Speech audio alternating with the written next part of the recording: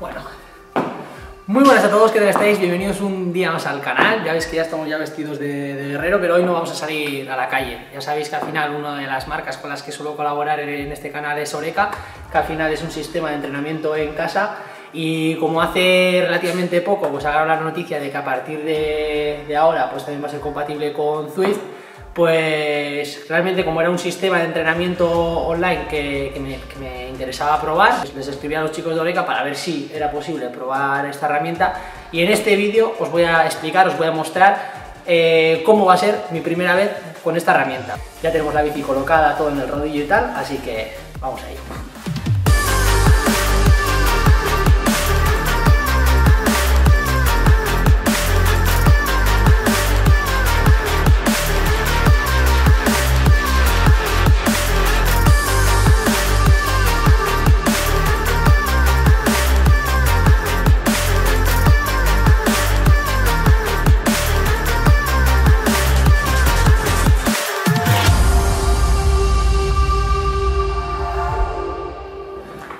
Vale, pues como veis ya tenemos ya la bicicleta aquí colocada, ya sabéis de vídeos anteriores que habíamos hecho que al final eh, lo único que necesitamos para adaptar eh, nuestra bicicleta para que pueda ser, pueda ser compatible con este tipo de rodillos es cambiar simplemente el eje trasero para luego poder conectar esto.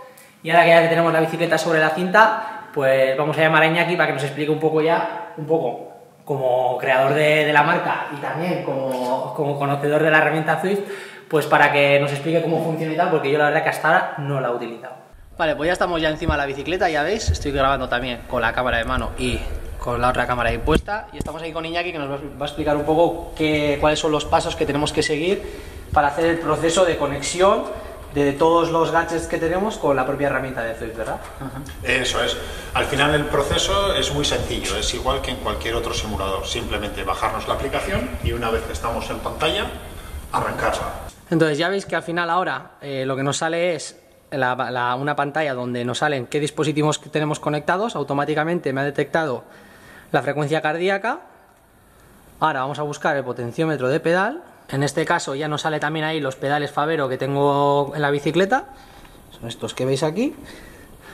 Los conectamos y así de esta forma nos vamos a asegurar que los datos de potencia que estemos marcando no nos los dé el propio rodillo o la propia plataforma, sino que ya estén sincronizados completamente ya con, con, los propios datos reales que nos dan los pedales. Entonces, una vez que entramos en Zwift, nos aparece esta pantalla. Las opciones que nos da Zwift es, por un lado, hacer eh, una ruta tanto programada como también por nuestra propia cuenta, es decir, entrar en el mundo virtual y decidir en todo momento nosotros si queremos ir a la izquierda, a la derecha, para arriba, para abajo, o sea, todo esto vamos a ir eh, nosotros pudiendo decidirlo. Por otro lado, otra de las oportunidades que nos da es de poder llevar sistemas de entrenamiento, o sea, planes de entrenamiento ya actualizados incluso con nuestra propia potencia, incluso en caso de que no tuviéramos una prueba de esfuerzo, una prueba de esfuerzo, no hubiéramos hecho un estudio de FTP, por ejemplo, de campo, pues podríamos hacerlo a través de esta herramienta también para poder calcular cuáles son nuestras zonas y de esa forma automatizar todos los entrenamientos, o sea, eh, digamos que actualizarlos a nuestros propios umbrales de entrenamiento. En este caso, entonces, vamos a optar por el tema de la ruta porque de momento queremos ir conociendo un poco la herramienta y no nos vamos a poner a competir desde el principio, así que eh, ahora os enseño ya más o menos a ver cómo, cómo va el tema. Bueno, pues ya ves, estamos ya aquí conectados, el pulso, Ahí también, como podéis ver, nos sale el pulso y lo bueno que tiene Zwift es que ya tiene una aplicación también en la que pues vamos a poder, por un lado, encontrar el mapa para saber cuáles son todas las rutas que podemos tomar, dónde están el resto de ciclistas y para ver también un poco cómo es el entorno.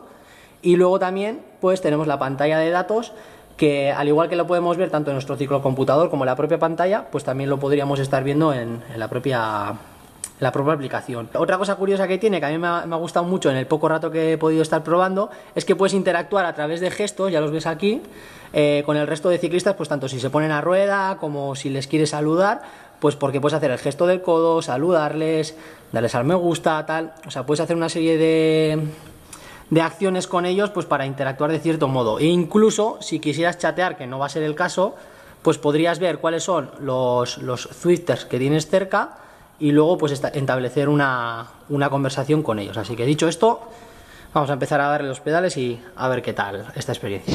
Ya hemos echado a rodar, ya veis aquí la potencia que estamos moviendo, 213 vatios, que en todo momento va sincronizado con la pantalla. Es decir, los datos que estamos reflejando no son los que nos da el propio rodillo, la, la propia plataforma, sino los que estamos moviendo realmente y que nuestros pedales están captando. Ya nos encontraríamos rodando aquí encima de la bicicleta y estamos viendo que dentro de este mundo pues hay cantidad de ciclistas. O sea, podemos ver a qué distancia están, cuántos vatios por kilo están moviendo, o sea, hay una serie de datos, incluso también la nacionalidad, pues por si quisiéramos interactuar con ellos de alguna forma, nos quisiéramos poner a rueda, quisiéramos pillarlos, y entonces pues durante, mientras que vamos hablando, pues esto es igual que en el mundo real. Si en algún momento tienes un cruce en el que te da la opción tanto de tirar recto como tirar a la izquierda, pues a través de la aplicación, como os he dicho, podría marcar la dirección y ya estaríamos ya tomando en todo momento la ruta que nosotros queremos. ¿Qué pasa si, por ejemplo, hacemos un cambio de dirección que implica que empezamos a subir un puerto y no queremos? Pues igual que en la vida real también, podríamos tocar una tecla, girar 180 grados y así evitarnos el puerto. Así que al final es una forma entretenida de seguir sumando tiempo y kilómetros y todo desde casa que últimamente con todo lo que está lloviendo pues no está mal, ¿no? Ya veis que estamos sudando de lo lindo y ahora vamos a ir en plan masoca. Fijaros, ahí como tenemos la opción de poder girar a la izquierda y me han comentado que si giramos a la izquierda vamos a pillar un puerto, así que ahí vamos a ir ni más ni menos que a Epic.com que ya veis que esto pinta a poca broma. Fijaos los paisajes que chulos, aquí como por una zona de bosque, y ahora justamente ahora vamos a girar a la izquierda para empezar una subida. Así que os dejo que esto seguramente se va a ir poniendo duro.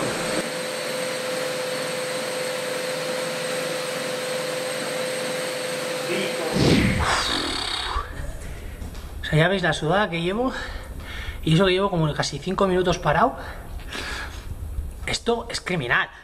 O sea, porque ves a gente que encima no anda poco, tienes todas las referencias en todo momento de cuánto por delante tienes uno, cuánto por detrás tiene uno y qué vatios kilo está moviendo. Entonces, claro, te picas, te pasa uno y dices, va, voy a seguir la rueda. Y cuando ves que no te suelta, dices, voy a remacharle. Y cuando le remachas, duras 15 segundos, te viene por detrás, te pasa y luego te acabas metiendo 3 minutos. Entonces, he hecho una de las subidas que había aquí, que eran casi 10 kilómetros de subida, exigente y fijaros, o sea, el motivo de esta sudada es que he visto que cuando quedaba poco me podía poner en el top 5 de los tiempos de la subida que hay aquí, el Epic.com. Entonces fijaros cómo he quedado. Ahora que se actualice. Ahí, el cuarto. Eso sí, con el que me he picado, fijaros la minutada que me ha metido. O sea, casi casi 7 minutos. ¿Cómo os quedáis? al final con la tontería esto de gamificar un entrenamiento, ya veis, he hecho casi 43 minutos, 42 minutos 20 con 15,8 kilómetros, que al final en este tipo de entrenamientos lo que cuenta sobre todo es el tiempo, porque no hay ningún momento de pedaleo en vacío, y la verdad es que se hace muy, muy, muy ameno. Con esto de que tengas coms, con esto de que puedas ir picándote con gente y todo eso, pues la verdad que mola bastante, así que aquí vamos a dejar el vídeo por hoy, de todas formas también ahora en la parte final os voy a enseñar los datos que te da una vez finalizas el entrenamiento, pero atentos al próximo vídeo porque ahí vais a poder comprobar, uno, qué FTP estoy manejando en estos momentos, aunque la verdad que con la paliza que me he metido ahora seguramente baje algo, y luego iremos a hacer el mismo test en campo para ver realmente a ver qué diferencia de datos hay, así que lo dicho, os dejo con las pantallas finales y nos vemos en el próximo vídeo. Me pone aquí, en esta ruta, récord de 5 segundos, 8, 459 eh, vatios, en un minuto 412, en 5 minutos 321 y en 20 minutos, fijaros ahí, pone 258. Eso sí, si hiciéramos un test FTP como el que vamos a hacer después, más progresivo, más constante, pues muy probablemente ese dato sería algo mayor. También nos da los datos de reparto de potencia, también de reparto de ritmo cardíaco, que ya veis que me he puesto con el pulso por las nubes, y luego una vez le damos a terminar ruta, eh, aquí te dice, has montado con Macanali, que la verdad que me voy a acordar de él, pero hasta, hasta yo creo que mañana también. De lo que me ha hecho sufrir y luego tenemos ahí pues eso, los, los datos de potencia media, los kilómetros que he hecho, el tiempo, incluso me dice, fijaros, a modo de coña, que he quemado 567 kilocalorías, lo cual equivale como a dos porciones de pizza, lo cual no está mal. Y luego a nivel de potencia pues ya veis ahí los datos, cómo han ido un poco el histórico, y el reparto de potencia y el ritmo cardíaco que os había dicho antes también. Y luego esto es un dato que también te da Strava, que es el análisis de la potencia. Ya veis que aquí en la línea de abajo os ponen los tiempos 0, 5, 10, 30, 1, 5, 10, 20, tal, tal. Entonces en rojo sale lo que hemos hecho hoy y en el resto de datos, en gris, saldría el histórico, o sea, es decir, de todos los entrenamientos que hemos hecho nosotros, eh, qué datos habíamos marcado antes y cómo han sido los datos de este entrenamiento con respecto al anterior. Para que veáis que no engaño, os voy a enseñar la huella del crimen. Fijaros la sudada que me he pegado por aquí. Estos son los pedales Favero con los que estoy midiendo la potencia. Estoy haciendo el test sobre un rodillo, un Smart Trainer que se llama el Oreca O2. Y luego lo dicho, tenemos aquí también la pantalla conectada con el Swift. Así que, tal y como os decía, nos vamos a montar y vamos a arrancar este test a ver qué tal va la cosa.